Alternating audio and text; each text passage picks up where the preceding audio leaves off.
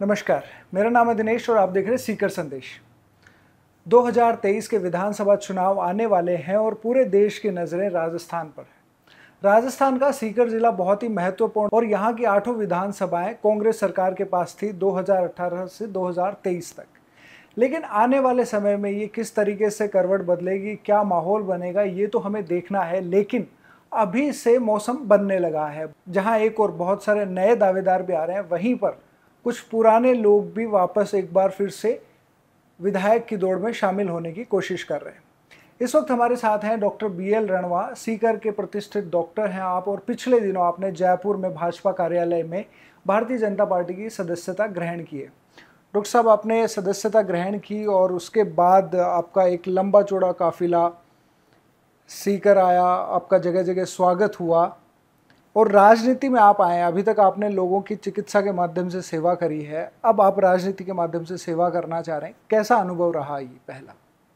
पहले तो मैं स्वागत करना चाहूँगा सीकर संदेश का कि उन्होंने आज मेरा इंटरव्यू करने का सोचा। आपने कहा कि मेरा जो है भाजपा में सदस्यता ग्रहण हुई और उसके बाद में मैं सीकर आया। सीकर की सीमा पे मेरा जो भी स्वागत सम्मान हुआ। इसमें आपने एक शब्द बोला काफिला। मैं सिर्फ़ चार गाड़ियों के साथ ज़रूर आया था जयपुर से। मेरे मिलने वाले लोग मेरे साथ थे। जैसे ही मैं सरगोट सीमा पे पहुँचा तो मैं बड़ा अचंभित रह गया कि दो दो एक्स विधायक माननीय जावर सिंह जी खर्रा माननीय गोवर्धन जी वर्मा आ, उनके साथ प्रधान प्रतिनिधि मूल जी रणवा और भी काफ़ी गणमान्य लोग वहाँ श्री माधोपुर के प्रधान, काफ़ी भाजपा के प्रेत मतलब पदाधिकारी और हज़ारों की संख्या में हमारे बीजेपी के कार्यकर्ता मौजूद थे। मुझे बहुत ऐसा अचंभित महसूस हुआ या इतना आश्चर्य हुआ कि ये क्या हो गया है? मैं कहाँ से कहाँ आ गया हूँ? किस स्वर्ग में हूँ?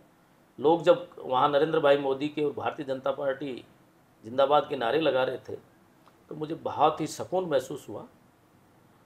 जहाँ तक काफिले का सवाल है, मैंने सिर्फ़ आपको कहा, मैं चार गाड़ियों के साथ जयपुर से रवाना हुआ था। उसके बाद लोग हमारे साथ जुड़े और जहाँ तक मुझे ध्यान है 500 से 600 के बीच में गाड़ियाँ थी। हर जगह, हर पॉइंट पे लोगों ने हमें रोका, स्वागत किया। सीकर शहर में भी हमारे लोगों ने परमिशन ले रखी थी कि हम एक छोटी रैली करेंगे डॉक्टर साहब के साथ, लेकिन वो रैली नहीं, रेला हो गया। उसमें भी हज़ारों लोग शामिल थे और लगभग 500 के आसपास, जहाँ तक पुलिस वाले और लोग बता रहे हैं, मुझे आइडिया नहीं है पूरा, लेकिन 500 के आसपास गाड़ियाँ थी। शहर कई जगह जाम भी हुआ जिसके लिए मैं जिन जनता के जिन लोगों को उससे कष्ट हुआ, उसके लिए क्षमा प्रार्थी हूँ। ये मैंने नहीं करवाया। हमारे कार्यकर्ताओं का उत्साह था, जिन्होंने इतना बड़ा कार्यक्रम, मैं तो सोच भी नहीं सकता कि मेरे लिए हो सकता है हुआ। मैं इस सम्मान को कभी नहीं भूलूँगा। मेरे कार्यकर्ताओं का हमेशा सम्मान करूँगा। और कार्यकर्ता ही नहीं, भाजपा के बड़े बड़े पदाधिकारी जिनके बराबरी में जाने में हो सकता है, मेरे को समय लगे। वो लोग मेरे साथ खड़े थे। मैं अपने आप में अपने आप को बहुत बड़ा सम्मानित महसूस करता हूँ। और हो सकता है आपका ये सवाल आए आगे कि आप बीजेपी में कैसे आए। तो जो चीज़ मैं सोच के आया था वही हुआ। बीजेपी में हर सदस्य का सम्मान होता है। मेरा भी एज ए सदस्य बहुत बड़ा सम्मान हुआ। इसके लिए मैं मेरे कार्यकर्ताओं का, सीकर की जनता का, जिन लोगों ने मुझे अपार संदेश दिया, संदेह मतलब वो सम्मान दिया, उनका आभारी भारतीय जनता पार्टी ही आपने क्यों चुनी? राजनीति में आप कई सारे ऑप्शंस होते हैं। भारतीय जनता पार्टी के किन चीज़ों से आप प्रभावित हैं? क्या आपको भारतीय जनता पार्टी में ऐसा लगा कि यही पार्टी ज्वाइन कर रही है? पहले से ही थोड़ी सी तो विचारधारा इस तरह की रखता था, लेकिन मेरी विचारधारा में बहुत बड़ा परिवर्तन स्नेह स्नेह आया और उस परिवर्तन के कारण, उस परिवर्तन का कारण माननीय प्रधानमंत्री नरेंद्र भाई मोदी हैं। और उनकी और हमारी हिस्ट्री हालाँकि मैं उनके बराबरी में कहीं नहीं टिकता हूँ, लेकिन हिस्ट्री एक जैसी है। एक देश ने उनको भी वीज़ा देने के लिए मना किया और डॉक्टर बी एल रणवा को भी वीज़ा देने के लिए मना किया। नरेंद्र भाई मोदी चौदह में आने के बाद में उसी देश ने नरेंद्र भाई मोदी को भी वीज़ा दिया और मुझे भी बीस साल का वीज़ा दिया। यानी दस साल का पहले और दस साल का अभी नवीनीकरण दिया। अब मेरे पास दस साल का उसी देश का वीज़ा है। तो ये जो सम्मान और ये इस गौरव में नरेंद्र भाई मोदी ने देश को ले जाकर ये खड़ा करने की जो स्थिति बनाई है, जो देश हमारे को वीज़ा नहीं देते थे, वो देश, उस देश के प्रतिनिधि, उस देश के शीर्ष नेता हमारे नरेंद्र भाई मोदी को बॉस कहते हैं, हमारे देश का सम्मान करते हैं, हमारे नागरिकों का सम्मान करते हैं और समय समय पे जब भी हम उनको इनवाइट करते हैं वो हमारे यहाँ आकर के हमारा आतिथ्य स्वीकार करते हैं। हमारा देश सिरमौर होता जा रहा है। 2014 से लेकर के ये 2000 लगभग 23 तक की जो जर्नी हम देखें, इस जर्नी में भारत को जिन ऊंचाइयों पे नरेंद्र भाई मोदी ने पहुँचाया, मैं नहीं समझता कि आज तक कोई ऐसा पहुँचा सकता था। मैं ये नहीं कहता कि पीछे के लोगों ने कुछ नहीं किया। सब लोग अपने हिसाब से सब कुछ करते हैं, लेकिन जो नरेंद्र भाई मोदी ने किया मैं नहीं समझता ऐसा कोई आगे भी कर पाएगा। मैं आशा करता हूँ इनसे भी अच्छा कहीं आने वाला कोई भी प्रधानमंत्री कार्य करे। लेकिन नरेंद्र भाई मोदी की जो नीतियाँ हैं, जिन नीतियों की वजह से आज भारत विश्व में सर्वश्रेष्ठ की श्रेणी में जाने की स्थिति में आ रहा है, इसी स्थिति को देखते हुए कि बीजेपी भारत की नहीं, अपितु दुनिया की सबसे बड़ी पार्टी है। और वो पार्टी जहाँ एक कार्यकर्ता का सम्मान होता है, इससे पहले वाले आपके प्रश्न के उत्तर में जैसा मैंने बताया था कि वो काफिला वो काफिला अगर एक सदस्यता ग्रहण करने वाले व्यक्ति के लिए हो सकता है तो आप समझिए कि उस पार्टी में आने पर एक कार्यकर्ता का क्या सम्मान हो सकता है? अगर एक कार्यकर्ता का इतना बड़ा सम्मान होता है तो आप समझिए उस, वो पार्टी बिल्कुल सौ परसेंट ज्वाइन करने लायक है और ऐसी पार्टी को ज्वाइन करके मैं बहुत ही फक्र अपने आप को गौरवान्वित महसूस कर रहा हूँ। आने वाले समय में इलेक्शन है। और इस वक्त सारी जो पूरे राजस्थान की जनता है, वो उन लोगों की तरफ़ देखती है जो आने वाले समय में विधायक बनकर विधानसभा में जाकर उनके लिए बेहतर कार्य कर सकें। आप इस बारे में क्या सोचते हैं? क्या आप विधानसभा 2023 के चुनावों का कुछ प्लान कर रहे हैं?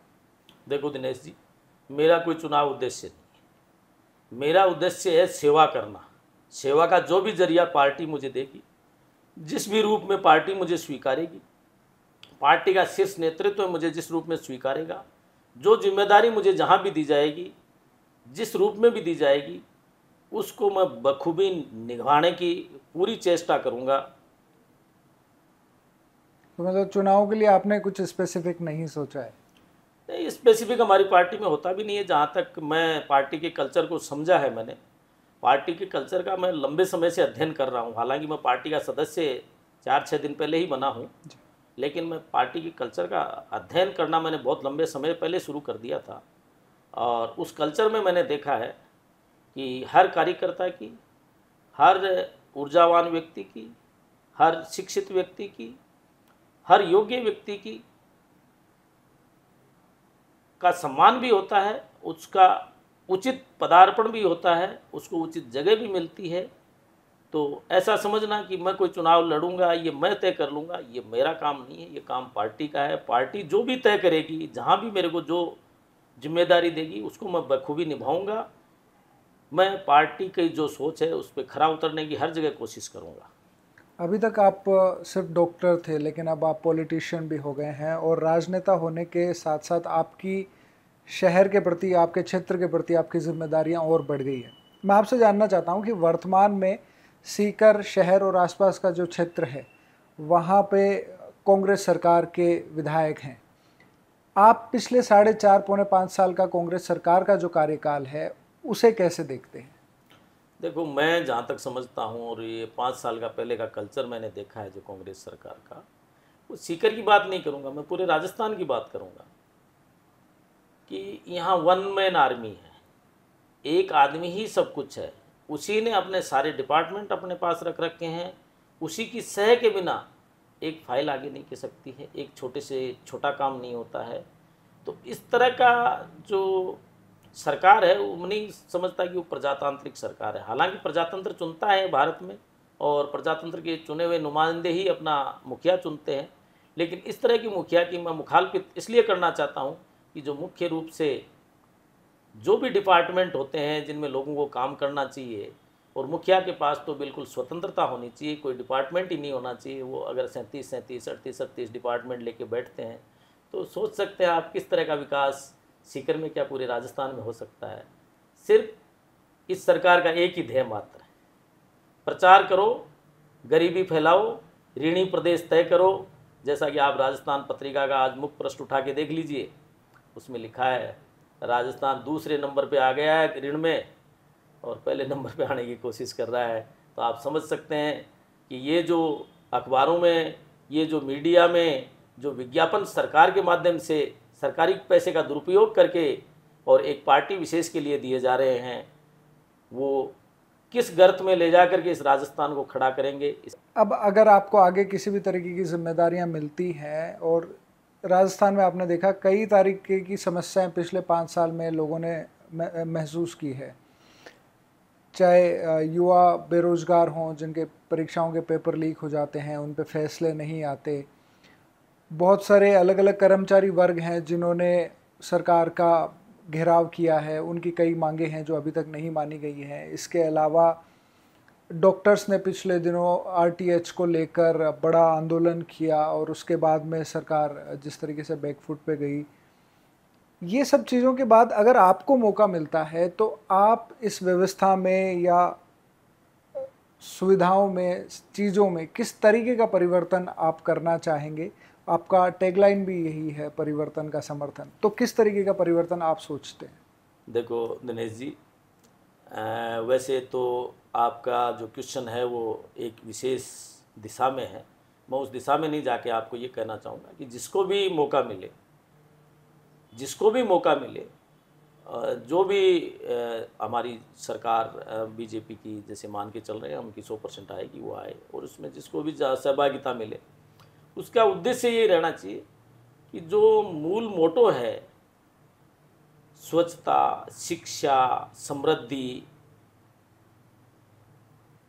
ये जो बेरोजगारी, ये नहीं रहे और हमारा महिला सशक्तिकरण हो, ये पाँच छह बहुत बड़े मुद्दे हैं जिनको वर्षों से हम बोलते आ रहे हैं।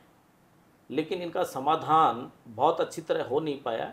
हालाँकि मोदी सरकार ने पूरी कोशिश की है कि इन मुद्दों पे काम हो और काम हो भी रहा है केंद्र की तरफ़ से, लेकिन इसमें केंद्र के साथ साथ राज्य भी एक हिस्सा होता है। अगर दोनों कड़ियाँ जुड़ेंगी तो बिल्कुल विकास की गंगा बहेगी। बहुत धन्यवाद ये सारी बातें करने के लिए। इससे पहले मैं चाहूँगा आखिरी सवाल के रूप में कि फ़िलहाल जो प्रशासन है, वो लोगों से वोट की अपील कर रहा है कि आने वाले समय में अपना वोट कास्ट ज़रूर करें, ताकि सरकार और सरकार के नुमाइंदे चुनने में हर एक व्यक्ति की भागीदारी सुनिश्चित की जा सके। तो मैं चाहूँगा कि आप भी लोगों से अपील करें कि आने वाले चुनाव में अपनी भागीदारी बढ़ चढ़ कर वोट दें ताकि भविष्य में ज़्यादा बेहतर पॉलिटिशियंस समाज के लिए काम कर सकें। देखो, इस संबंध में हमने कल एक बहुत ही सुंदर प्रोग्राम रखा था और उसका टैगलाइन था सामाजिक समरसता भोज, जिसमें 400 लोगों ने हमने एक जाजम पे, एक दरी पे बैठ करके भोजन किया। उसमें ज़्यादातर वो लोग थे हमारे साथ खाना खाने वाले, जो हमारी नालियाँ साफ़ करते हैं, हमारे गटर साफ़ करते हैं, हमारे यहाँ सफ़ाई मजदूर हैं, जिनको लोग निम्न दर्जे का समझते हैं। मैं तो नहीं समझता, मैं तो ये समझता हूँ कि हर मानव बराबर है। वहाँ भी मेरा छोटा सा इंटरव्यू लिया गया था या मेरे से बाइट देने के लिए कहा था तो मैंने वहाँ कहा था कि हम ये समरसता भोज आयोजित इसलिए कर रहे हैं कि हर आदमी ये समझे कि हम सब बराबर हैं। हर आदमी की पावर बराबर है। कोई अपने पावर को कम नहीं आके, क्योंकि जिस दिन वोट पड़ता है, उस दिन सांसद का वोट भी एक ही गिना जाता है, डॉक्टर बी एल वर्मा का वोट भी एक ही गिना जाता है, और हमारे यहाँ काम करने वाला सफ़ाई मजदूर का वोट भी एक गिना जाता है, मेरे घर में खाना बनाने वाले का भी एक ही वोट गिना जाता है। इसलिए सबसे बड़ी जो प्रजातंत्र की ताकत है उसमें आपको ये महसूस करना है कि मेरे को सहभागिता निभानी है इस सरकार को बनाने में तो घर में कोई भी वोट दिए बिना वंचित ना रहे, जिसका भी वोटर लिस्ट में नाम है, वो जाके वोट करे और ऐसे आदमी को वोट करे। सिर्फ़ ये नहीं कि मेरा दादा इसको वोट देता था इसलिए मैं दूँगा, मेरा परदादा इसको वोट देता था इसलिए दूँगा, या मेरा चाचा इसको वोट दे रहा है इसलिए दूँगा, या मेरी माँ कह रही है, मेरा काका कह रहा है, किसी कहने में नहीं आए, आप देखें। कौन उचित उम्मीदवार है? कौन शिक्षित है? कौन इस जो राजस्थान राज्य है इसको या हमारे जो विधायिका क्षेत्र है उस क्षेत्र को आगे कौन ले जा सकता है? किसमें सामर्थ्य है? किस जाति का है? किस धर्म का है? इस आधार पे कभी वोट ना करें। वोट इस आधार पे करें कि किसकी क्षमता क्या है, किसका ब्रेन क्या है, क्या कौन सोचता है किसमें दिमाग है कि वो विकास की गंगा बहा सकता है विकास की गंगा बहाने का अर्थ ये है कि उसको कम से कम ये तो आइडिया होना चाहिए कि मेरे को काम किस तरह करना है। लोग कहते हैं विकास कर देंगे, लेकिन जिस आदमी को ये पता नहीं, मैं पहले भी बोल चुका हूँ कि जैसे सी एम एच ओ और डब्ल्यू एच ओ में जिसको अंतर नहीं होता, पता होता, उस आदमी को अगर अपन हेल्थ मिनिस्टर बना देंगे, यहाँ चुन के भेज देंगे और वहाँ हेल्थ मिनिस्टर बना दिया जाएगा तो वो स्वास्थ्य का क्या करेगा?